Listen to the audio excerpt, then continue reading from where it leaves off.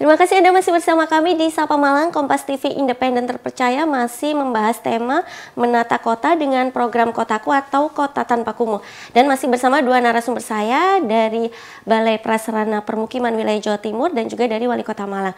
Nah, selanjutnya yang menarik juga adalah selain menata kawasan pinggiran sungai, kemudian juga menata kawasan pinggir rel kereta api, kepadatan penduduk, mempercantik kota kan juga banyak sekali yang perlu dilakukan begitu ya Pak Reva dan Pak Setiaji. Apalagi kalau kita lihat yang banyak jadi protes masyarakat tuh kabel-kabel yang bergelantungan yang wah kalau di foto kok kelihatan jelek gitu kayak kurang cantik gitu. Nah padahal kan kita harus menata kota tuh maksimal. Gimana? Mungkin ke Pak Reva dulu.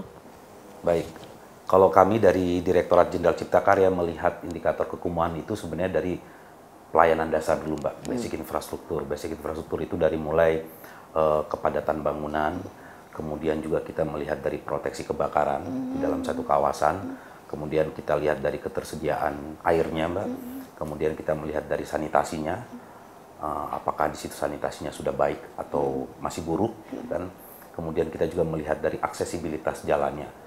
Jadi uh, memang kalau misalnya melihat dari berbagai macam indikator, tentunya kita juga tidak akan bisa menangkap semuanya, mbak ya, tapi tugas uh, utama kami adalah dari basic infrastruktur ke cipta karyanya. Cipta karyaan itu ya tadi yang hal-hal tadi yang uh, bisa saya sampaikan. Nah di situlah kita uh, melihat bahwa kawasan ini betul-betul butuh penanganan. Melihat dari tujuh indikator uh, penanganan kumuh tersebut. Jadi kami seperti itu Mbak. Memang sangat berbahaya sekali ya, ya. Saudara Pak Reva dan Pak Sutiaji kalau terlalu padat itu resiko yang sangat besar memang kebakaran ya. yang tadi disebutkan karena pemadam kebakaran juga akan susah masuk dan itu juga menjadi PR besar. Nah kalau Pak Setiaji gimana nih Pak? Karena Pak Setiaji ini juga kadang memperhatikan hal yang detail gitu. Saya ingat betul dulu pernah sampai di razia ini kabel-kabel yang bergelantungan karena juga mengganggu pengguna jalan. Ya. Apalagi sih Pak yang perlu uh, dilakukan biar penanganan kumuh ini bisa tuntas, bisa efektif begitu? Uh, yang perlu kita bangun sesungguhnya adalah dua paradigma kita harus uh, komprehensif ya jadi kita bangun paradigma eh, satu membangun jangan fisik saja. Yang ke, yang tidak kalah pentingnya adalah membangun paradigma orang mindset orang harus hmm. terbangun. Jadi revitalisasi fisik dan revitalisasi mental. Jadi revitalisasi fisik itu tadi sudah disampaikan Cipta Karya. Tugas kami adalah dengan uh, pentahelik kami membangun uh, revitalisasi mental. Contoh aja seperti kabel ya. Hmm. Ini juga menjadi bagian uh, ini kan tidak cantik ya, ya saya kira kalau melihat itu baik buruk itu insya Allah dalam ketentuan umum kan tahu ya. Oh ini pak tidak bagus ini bagus kan bisa. Lah ketika seperti ada saya memang kepingin nanti mungkin khusus untuk ber, koridor kayu tangan karena kumuhnya di di belakang ya. Hmm. tapi bagaimana bisa berkaitan dengan ekonomi kita harus percantik di depan nanti kami usahakan memang kami akan sudah mau berkirim surat kepada PT ya, penyedia ya. Uh, baik saya tidak menyebutkan. Hmm. ya, nanti kami akan buat perda ducting semuanya harus bawa uh, kabel listrik bukan kami harapkan. Mungkin untuk koridor itu ya. biar orang itu cantik enak. Terus nanti ketika dia di di belakang juga oh ternyata di sininya gayung bersambut ya. Hmm. sini melihatnya koridornya bagus di belakangnya juga demikian termasuk akses-akses tadi bukan hanya akses kebakaran saja, hmm. tapi eh, bagaimana kekumuh tadi ipalnya juga iya. ya. Hmm. Jadi Sanitasi terus sanitasinya benar-benar ditata hmm.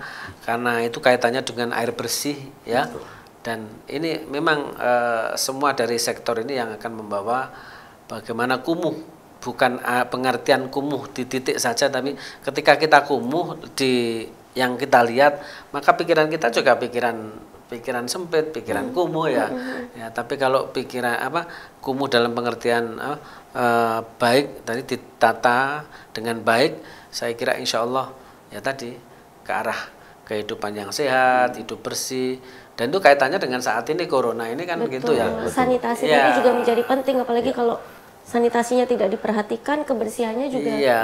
Ya sangat berbahaya jika ya. diabaikan di tengah pandemi iya. COVID-19 ini ya. Nah baik, uh, saya kembali ke Pak Reva lagi. Pak Reva, apa sih harapan supaya program Kotaku ini bisa menjadi platform penanganan kumuh di daerah? Mengingatkan tugasnya juga di wilayah Jawa Timur nih Pak ya. Bagaimana Pak Reva? Baik, jadi uh, kami pemerintah pusat melalui Direktorat Jenderal Cipta Karya tentunya berharap program Kotaku ini bukan hanya sekedar program yang sifatnya uh, jangka pendek saja, Pak Wali. Tentunya program Kotaku ini harapannya bisa menjadi benchmarking ya, benchmarking untuk program-program kumuh lainnya.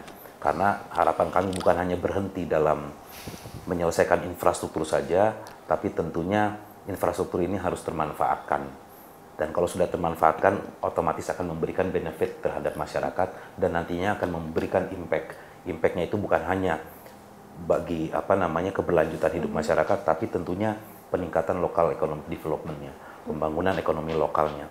Dan selain itu, yang paling penting betul yang tadi disampaikan oleh Pak Wali Kota, bahwa kita bukan hanya menata kumuh, merubah wajah kawasan menjadi lebih cantik Pak ya, tapi kita harus mengeducate, melakukan edukasi kepada masyarakat. Karena kumuh tidak akan berhenti selama masyarakatnya belum merasa memiliki kawasan itu.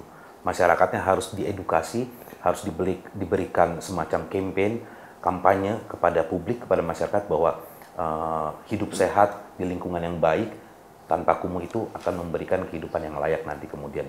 Sehingga selain uh, prasarana yang kita bangun, tentunya uh, edukasi kita juga harus tingkatkan, Pak. Paradigma ini harus kita rubah, masyarakat itu harus merasa uh, memiliki kawasan itu sehingga mereka akan menatanya dengan baik. Kira-kira itu yang kami harapkan agar program Kotaku ini bisa menjadikan platform atau benchmarking untuk program-program di pemerintah daerah lainnya. Kira-kira seperti itu. Betul sekali. Jadi memang ketika sinergitas ini menjadi penting begitu ketika pemerintah tugasnya melakukan pembangunan dan tugas masyarakat adalah merawatnya begitu ya. Sangat menarik pembahasannya, namun waktu juga yang harus memisahkan kita. Jadi kita akan menutup perbincangan kali ini di Sapa Malang. Terima kasih untuk waktunya Pak Wali Kota Malang, Pak Steji dan juga Pak Reva. Terima kasih ya. banyak. Dan sampai berjumpa lagi di Sapa Malang episode selanjutnya. Saya Hilda Nusantara, pamit undur diri. Terima kasih dan sampai jumpa.